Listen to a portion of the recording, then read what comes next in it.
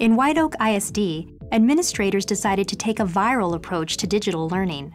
Rather than mandate the use of technology, they equipped a few eager, talented teachers, hoping they'd inspire others to transform their classrooms. We gave them a MacBook, we gave them some uh, freedom to look at some software, to do some things with their teaching, and we sat back. Before long, those early adopters were drawing attention. For example, the teacher who turned a routine science lesson into an adventure by sending a high-tech expedition into the school's nature center to help the class identify plant and animal life. That really engaged them, and they were all engaged. They all wanted to find, you know, the, the answers to the questions, and I think that increased the learning. Then there was the teacher who discovered that just having students type vocabulary words into iPods generated a level of enthusiasm and results not possible with paper. The students who used the iPods, not only did they finish quicker, when I gave them a quiz, they actually remembered more vocabulary words than the students who looked them up in the dictionary. Another experiment revealed that if you let students comment on a video with a Twitter-like program, every student in the room will pay rapt attention to the presentation.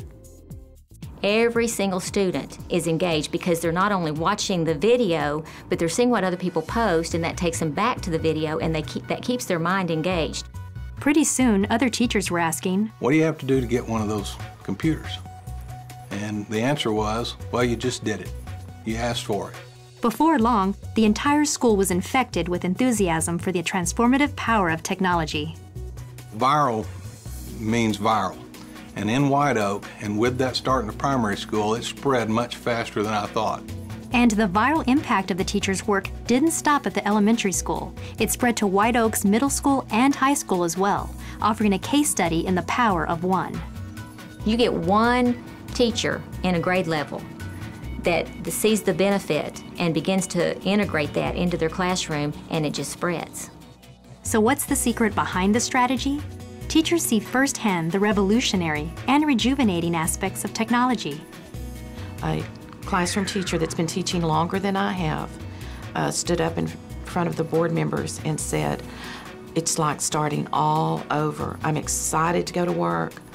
I love what I do, and the children are excited to come to my class. You can't ask for anything better than that. To find out more about how White Oak ISD joined the digital learning revolution, go to powerontexas.com.